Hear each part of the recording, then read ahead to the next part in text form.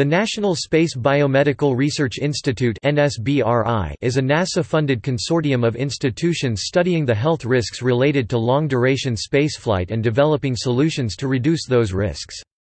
The NSBRI was founded in 1997. NSBRI's 16,400 square foot headquarters facility is located in the Bioscience Research Collaborative in Houston, Texas.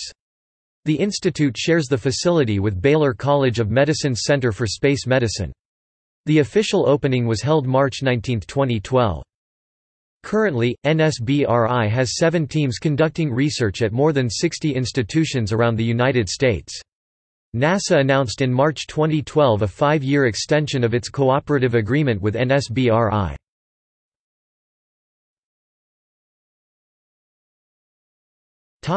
Research programs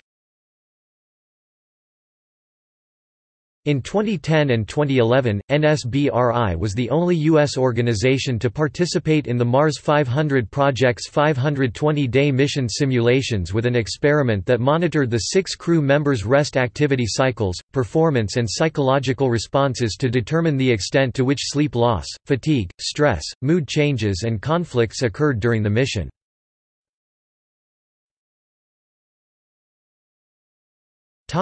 Research teams Cardiovascular alterations Human factors and performance Musculoskeletal alterations Neurobehavioral and psychosocial factors Radiation effects Sensorimotor adaptation Smart medical systems and technology Outreach NSBRI also has a robust education and outreach program. The NSBRI Education and Outreach Team won a Stellar Award from the Rotary National Award for Space Achievement Foundation in 2007 for performance as a nationally recognized, top-tier program that is pioneering new models for exemplary teaching, training and public outreach in support of the vision for space exploration.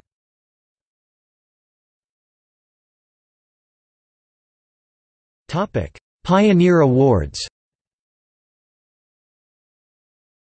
During the opening ceremonies, NSBRI President and CEO Dr. Jeffrey P. Sutton and NSBRI Chairman of the Board of Directors Dr. Bobby R. Alford presented U.S. Senator Kay Bailey Hutchison with the Pioneer Award, the Institute's highest honor, for her support of human spaceflight.